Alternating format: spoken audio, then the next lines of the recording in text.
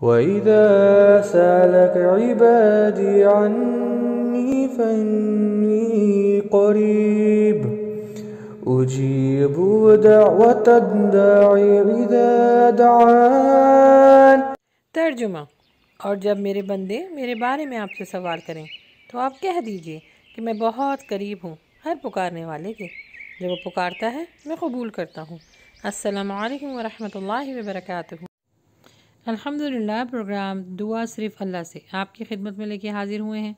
आज इन आयतों की आयत, सरदारों की सरदार, आयतुल कुर्सी। जी ये कुरान पाक का ताज है। इसको हम पढ़ तो लेते हैं रोज़ाना, लेकिन ना इसको समझते हैं, ना इसकी तफसीर जानते हैं और ना इसकी अहमियत जानते हैं। तो आइए थोड़ी सी इसकी अहमियत मैं आपको बताती हूँ। जिस किसी ने भी रात को सोने से पहले रोज़ाना आयतुल कुर्सी पढ़ी।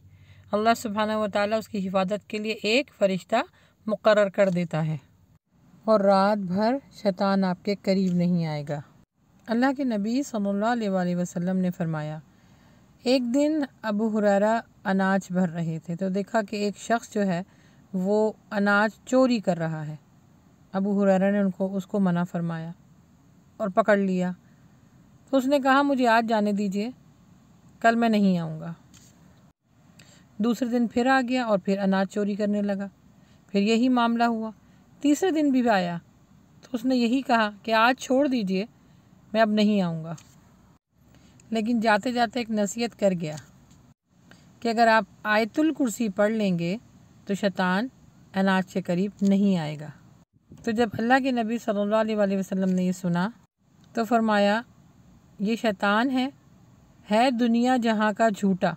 लेकिन बात सच्ची कह गया। तो इससे एक सबक और मिलता है कि हमेशा दीन की बात सुनने के लिए ये मत सोचा करें कि कौन कह रहा है। ये सोचा करें कि क्या कह रहा है। अगर दीन के फ़ायदे की बात है तो उसको अपनाना चाहिए।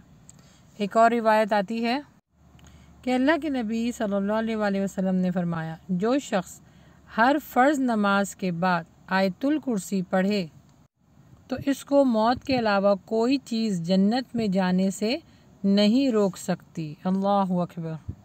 तो इसको हर फ़र्ज़ नमाज़ के बाद पढ़ने का मामूल बनाइए। इस वीडियो में हम आपको इसकी तजवीज़ सिखाएँगे। तो आइए शुरू करते हैं। अल्लाह ला इलाहा इल्ला हुवल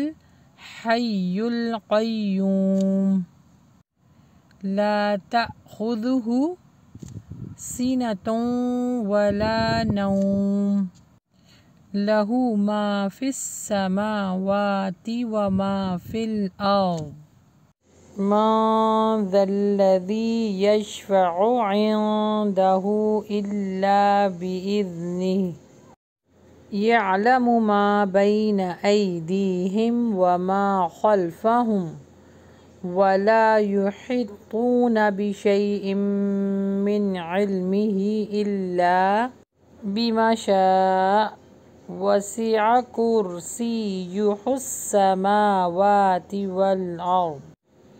वला यऊदुहु हिफ्ज़ुहुमा वहुवल अलीयुल